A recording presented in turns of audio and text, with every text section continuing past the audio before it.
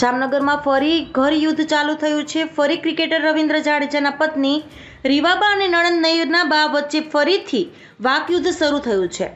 રામ મંદિરના પ્રાણ પ્રતિષ્ઠા મહોત્સવમાં કોંગ્રેસે આમંત્રણ ઠુકરાવવા બાબતે રીવાબાએ કરેલા નિવેદન બાદ વાકયુદ્ધ છેડાયું છે. વર્ષો બાદ પ્રશ્ન ઉકેલાયો હોવાથી રાજનીતિથી ઉપર ઉઠીને વધામણા કરવા રીવાબાએ કોંગ્રેસને સલાહ આપી હતી.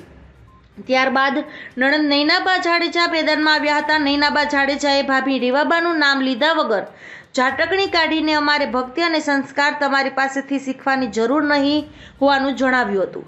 તેમણે કહ્યું હતું કે, તમે છોટી કાશીમાં રહો છો, પણ તમારામાં સંસ્કાર નથી તેવું નિવેદન કરીને શંકરાચાર્ય સહિતનાઓને બહિષ્કાર કર્યો હોવાનું જણાવ્યું હતું. ભાભી રીવાબા અને નણંદ નૈનાબા વચ્ચે ફરીથી વાકયુદ્ધ છેડાતા મામલો ભારે ચર્ચાસ્પદ બન્યો છે.